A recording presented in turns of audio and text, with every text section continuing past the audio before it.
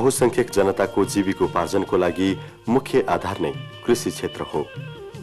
कृषि क्षेत्रको आधुनिकीकरणबाट अन्न बालीको साथै फलफूल तरकारी र पशुपालनको क्षेत्रमा प्रशस्तै उन्नति भएको पाइएको छ। उदाहरण स्वरूप उच्च पहाडी क्षेत्रका कृषकले स्याउ तथा स्थानीय स्तरमा उत्पादन गर्न सकिने बाली लगाएर आफ्नो आवश्यकता पूरा गर्दै आएका छन्। मध्य पहाडी क्षेत्रका कृषकले अन्न बालीको साथै सुन्तला जात फलफूल र ताजा तरकारी खेतीमा विशेष अभिरुचि लिएको पाइन्छ। खाद्यान्न उत्पादनमा पहिलो स्थान ओगटेको तराई क्षेत्रमा अन्न बालीको साथै ताजा तरकारी उत्पादनमा कृषकहरू बढी अग्रसर भएको पाइन्छ।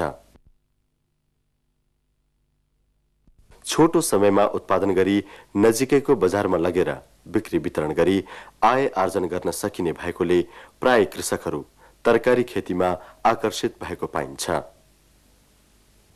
तरकारी खेतीमा लागेका कृषकहरूले हिउँदको समयमा आफ्नो जग्गामा आलु काउली बन्दा भन्टा गोलभेडा रायो मुला जस्ता तरकारी खेती गर्ने गर्दछन्। वर्षे बालीको रूपमा भने लहरे बाली जस्तै सिमी लौका फर्सी करेला जस्ता बाली लगाएर आफ्नो आय आर्जन बढाउँदछन्।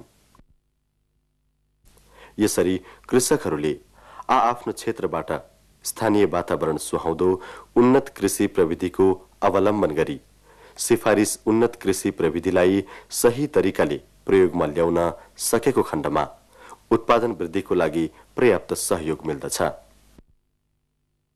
कुनै पनि खेती गर्ने कृषकले उन्नत प्रविधि अपनाएर मेहनत र लगनशील रही कार्य गरेको खण्डमा जग्गा कहिल्यै बाँझो रहँदैन। कुनै न कुनै बालीले ढपक्क ढाकेको पाउन सकिन्छ।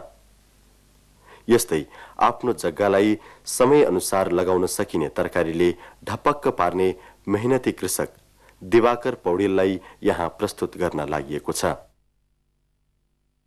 बसाई सराईको क्रममा दुई हजार एकतिस सालदेखि नवलपरासी जिल्लाको गैडाकोटमा बसोबास गर्दै आउनुभएका प्रगतिशील कृषकको सातजनाको परिवार छ।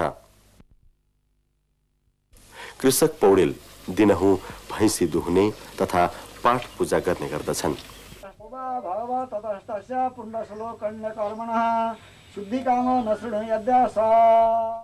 कृषक पौडेलको छोराछोरी पढ्न स्कुल जाने गर्दछन् भने ठुलो छोरा र श्रीमतीबाट घर गोठको कामदेखि खेतीपातीको काममा सहयोग मिल्ने गरेको छ। कुनै पनि बालीको लागि मल प्रशस्त आवश्यक पर्ने भएकोले कम्पोस्ट मलको लागि आफ्नै गोठमा गाई भैँसी पालेर कम्पोस्ट मल प्रयोग गर्ने गर्दछन्। करिब साढे तीन बिघा जग्गा मध्ये डेढ बिघामा निरन्तर तरकारी खेती गर्ने कृषक पौडेलले हिउँदे तरकारीमा काउली बन्दा गोलभेडा भेडे खुर्सानी फर्सी भन्टा आलु लगाउँदछन्। कुनै पनि बेला कतै जग्गा खाली नहोस् भन्ने धारणा भएका कृषक पौडेलले पानी लगाउनको लागि बनाएको कुलेसोको डिलमा पनि रायो साग तथा गाजर लगाएर जग्गाको सदुपयोग गरेका छन्।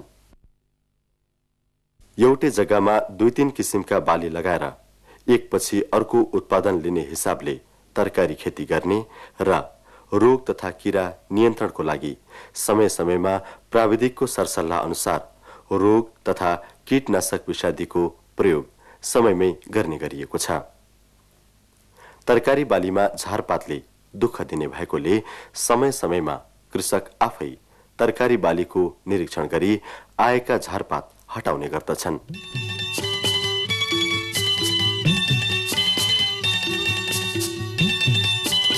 तरकारी बालीको लागि पानीको आवश्यकता बढी हुने भएकोले आफैले इनार खनेर पम्पसेटबाट पानी तानी सिँचाइको व्यवस्था मिलाएका छन्। फलस्वरूप तरकारी बाली पनि राम्रो भएको छ। यसरी व्यावसायिक रूपमा तरकारीको खेती कहिलेबाट सुरुवात गर्नुभयो र त्यसबाट कस्तो फाइदा लिनुभएको छ भन्ने प्रश्नको जवाफमा कृषक दिवाकर पौडेल। मैले अडचालिस सालबाट। त्योभन्दा अगाडि के लगाउनु? त्योभन्दा अगाडि धान लगाइन्थ्यो सर। धान गहुँ तोरी अनि तरकारी खेती गर्दाखेरि राम्रो हुन्छ भनेर कसरी थाहा पाउनु यो त हाम्रो अब कृषि सञ्चारबाट पनि हामीले रेडियो सुन्ने गरिराखेको।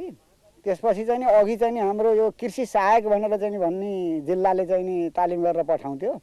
तिनीहरूले तपाईँहरूले यो खेतीभन्दा तरकारी खेती गर्नुहोस् भनेर चाहिँ उहाँहरूले भन्नुभएको थियो।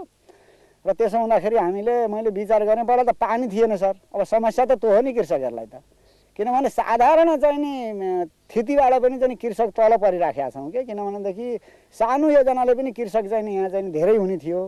मैले चाहिँ नि एक इन्ची पानीबाट चाहिँ नि आठ गट्टा सिँचाइ गरेँ अडचालिस सालमा। बिजुली बल्ल त्यतिखेर आयो के सर? अघि त पानी थिएन कसरी गर्ने? थाहा पाएँ पनि। र पानी चाहिँ एक इन्ची पानीबाट चाहिँ मैले पहिला साल चाहिँ नि आठ गट्ठालाई चाहिँ सिँचाइ गरेँ। किनभने हामीले बाल्टीमा लाँदै बोक्दै हाल्दै त्यसो गरेर नि गरियो। तर कसरी भनेर भन्नुहुन्छ भने गैँडाकोटमा त तरकारीको भन्ने त उनै थिएन। हाम्रो सबै चाहिँ खुजुरै जाने अब नारायणको बजार नजिक भाउ पनि हामीले चाहिँ अक्सिजनको तरकारीमा बढी पाउने। हुँदाखेरि मैले पहिल्यै आठ गट्ठाबाटै चालिस हजारको तरकारी बेचेँ। मैले मेरो यो कित्तामा त नि हजुरको अब तरकारीहरू लगाएको छु। काउली बन्दा गोलभेडा भेडे खुर्सानी इस्क्वास फर्सी गाजर त्यसपछि चाहिँ नि हजुरको भन्नाले चाहिँ नि हाम्रो गाजर भयो त्यहाँबाट रायो साग पनि छ मुलाहरू छ तर हाम्रो यो दोमट माटो भएको हुँदाखेरि अन्तरबाली धेरै राम्रो आउँछ सर। हामीले अन्तरबालीबाट अँ, जब अब हाम्रो चाहिँ माघमा मुसिरमा हामीले धान थन्क्यायौँ च कार्तिकमा थन्क्यायौँ मुसिरमा माटो बनाएर बिरुवा लगाएको लगाए दुई महिना लगाइयो। अब चाहिँ माघबाट चाहिँ हामीले तरकारी बेचेको असारसम्म बेचिन्छ। र दैनिक चाहिँ नि हजुरको हाम्रो दस क्विन्टल बाह्र क्विन्टल बिस क्विन्टल दुई क्विन्टल तिन क्विन्टल अब कहिले एकै क्विन्टल पनि दैनिक गइरहेको छ। अन्य तरकारी बाली जस्तै आलुको उत्पादन राम्रो हुने भएकोले दस कट्ठा जग्गामा आलु लगाएर उत्पादित आलु बिक्री गर्ने विचारले धमाधम आलु बाली भित्र्याउने कार्य गरिँदैछ।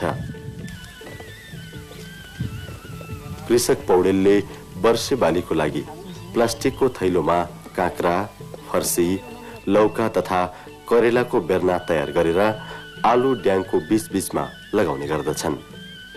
यसरी समयमै विचार पुर्याएर तरकारी खेती गरेमा जग्गा खाली राख्न नपर्ने कृषकको विचार छ। यो हाम्रो एउटा ल- पहिलेबाट लाइन नै आएको हो। पहिला हाम्रो यहाँ काउली थियो। काउलीको बिचमा ड्याङ थियो। त्यो काउली चाहिँ निस्कने बेला हामीले पियाज छर्यौँ। त्यो बिउका निमित्त। पियाजबाट चाहिँ अलिकति किराहरूको पनि अलिकति नियन्त्रणै हुन्छ। र त्यसपछि चाहिँ नि हामीले त्यो काउली निकाल्नुभन्दा पहिल्यै चाहिँ हामीले बोडी लगाइयो र मकै चाहिँ नि पनि लगाइएको छ र यसको वास्तविक अर्थ के भनेर चाहिँ भने एक त एउटा बाली नष्ट भयो एउटा स्वतै लाभ भयो हामीलाई विकल्पै छैन दोस्रो कुरो के भनेर चाहिँ भनेदेखि ठाउँहरू चाहिँ नि हजुरको खाली चाहिँ नि नराख्ने ठाउँहरूमा चाहिँ पुरा चाहिँ बिरुवा चाहिँ बनाएपछि मोल त हाम्रो पहिल्यै यसमा चाहिँ जानुपर्ने मोल त पुरा भइराखेको छ हाम्रो यति बिरुवालाई यति मोल चाहिन्छ यति कट्ठालाई भन्ने हामीले त्यही अनुसारले हालेका छौँ। त्यसो हुँदा एक त जमिन चाहिँ खाली रहँदै नरहोस्। दोस्रो कुरो हामीले चाहिँ जस्तो अब मकै लगाइएको छ। यो मकैले दुईवटा तिनवटा काम गरिरहेको छ। एउटा काम त के गरिरहेको छ भने यो चाहिँ उसलाई बोडीलाई चाहिँ नि थाँक्राको पनि हुन्छ। सिमीलाई। सिमीलाई चाहिँ थाँक्रो पनि भयो। दोस्रो तेस्रो कुरो चाहिँ हजुरको चाहिँ मकै पनि भयो। अब अर्को कुरो के भनेर भन्नुहुन्छ भने यो मकैका निमित्त हामीले चाहिँ गोडमेल त केही पनि गरिदिनु। यो त्यसै भयो। किनभने तरकारीलाई गोडमेल गर्दाखेरि उसलाई गोड भयो। त्यसो हुँदाखेरि आमदामी त एउटा मात्रै बालीले त अब सबैभन्दा एउटा बालीले त अलिकति बढी नै हुन्छ।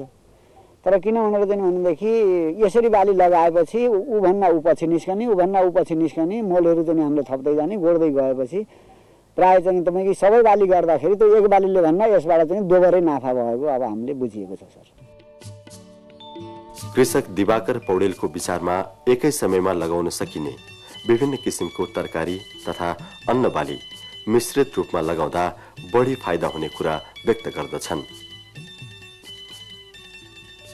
त्यसैले उनले खेती गरेको तरकारी बालीमा अहिले मिश्रित रूपमा सिमी प्याज बन्दा मकै त्यस्तै कतै लौका गोलबेडा मकै कुनै ठाउँमा भन्टा भेडे खुर्सानी मकै यस्तै यस्तै किसिमले प्राय सबै जग्गामा विभिन्न किसिमका तरकारी मिश्रित रूपमा लगाएर निरन्तर उत्पादन लिइरहेका छन्।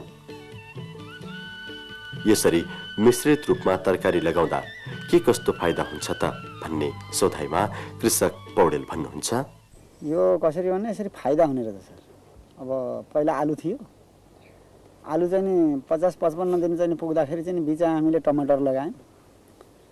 टमाटर लगाइयो टमाटर लगाउँदाखेरि आलु खन्ने बेला टमाटर फुल्या थियो। आलु निकालियो। त्यसपछि चाहिँ हजुरको चाहिँ बिचमा चाहिँ फेरि चाहिँ त्यहाँ त हाम्रो त कुला त हुन्छ। पोलिथिनको ब्यागको चाहिँ तपाईँको यो लौकाको चाहिँ उ ल्याएर हामीले त्यहाँ लगाइयो बोट। त्यो लगाएपछि अब अहिले टमाटर चाहिँ पुरा चाहिँ फलिया छ। यो त हाइब्रिड हो। हाइब्रिड चाहिँ हजुरको चाहिँ एकैचोटि फल्छ अब पछि त्यति बढी फल्दैन। अब दोस्रा चटमा के हुने हो भने यो टमाटरको गेडा टिपिसकेपछि यसले छापाको काम गर्छ। अब लौका त्यहाँ माथि गयो। उसलाई अर्को छापो चाहिँ नि घुर्यान खोजेर हाल्नु परेन। यहाँ चाहिँ नि हजुरको यो भेडे खुर्सानी मकै र भेन्टा। पहिला भेडे खुर्सानी लगाइयो कार्तिकमा। त्यसपछि माघमा चाहिँ नि हामीले भित्र भेन्टा रोपियो। भेडे खुर्सानी माघबाट फल्दै गयो। अब अहिले भेडे खुर्सानीको गति अब कम हुँदै गएछ। अब यहाँबाट पाँच सात क्विन्टल हामीले लिइ पनि सकियो। र अहिले फल्दैछ कति फल्छ। र अब यो मिथ्रनी बेलामा चाहिँ हजुरको फेरि चाहिँ भेन्टा सुरु भयो। अब मकै त चाहिँ हाम्रो किनभने उतापट्टि चाहिँ त्यो ओजेल पनि हुन्छ मधेसमा चर्को घाम हुँदाखेरि। यतापट्टि अब मकैको फाइदा छुट्टै छ। अब गोड दबाई पानी त हामीले त चाहिँ यहाँ नभए पनि हामी त दिइराख्नु पर्यो। र त्यसो हुँदाखेरि यसमा पनि परिश्रम त अलिकति बढी बढी नै पर्छ। तर आमदामी लास्ट गएर चाहिँ हामीलाई हानि पर्दैन लाभै हुन्छ सर। कृषक दिवाकर पौडेलले गरेको तरकारी खेतीको प्रेरणाले यस भेगका अन्य कृषकहरूले पनि आफ्नो जीविकोपार्जनको लागि अन्न बालीको साथै व्यावसायिक रूपमा तरकारी खेती गर्ने गर्दछन् र प्रशस्त फाइदा पनि पाएका छन्। गैँडाकोटमा मौरी पालन कार्यलाई व्यावसायिक रूपमा नै अपनाउने हिसाबले एकजना सृजनशील कृषक करुण सागर सुवेदी लागि पर्नु भएको छ। कृषक सुवेदीले मौरी पालनको लागि आवश्यक पर्ने उन्नत किसिमको सुधारिएको मौरीको घर उत्पादन गर्नु भएको छ।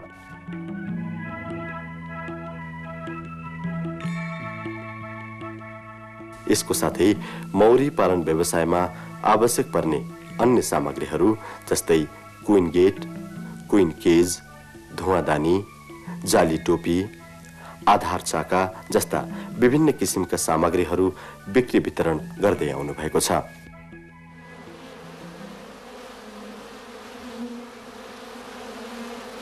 मौरी पालन व्यवसाय विस्तार गर्नको लागि कृषक करुण सागरले मौरी गोला उत्पादन गर्नको लागि बरोबर चाका निरीक्षण गरी रानो मौरी तथा समय समयमा अन्य कर्मी मौरीको निरीक्षण गर्ने गर्नुभएको छ।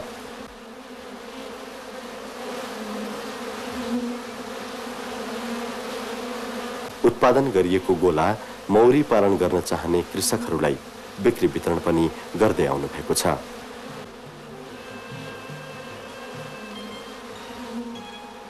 यसरी कृषि पेसामा संलग्न रही आउनुभएका कृषकले कुनै पनि कार्यमा सफलता पाउनको लागि आफ्नै श्रम सिप तथा लगनशीलताबाट मात्र सम्भव छ भन्ने कुरा प्रष्ट भएको छ।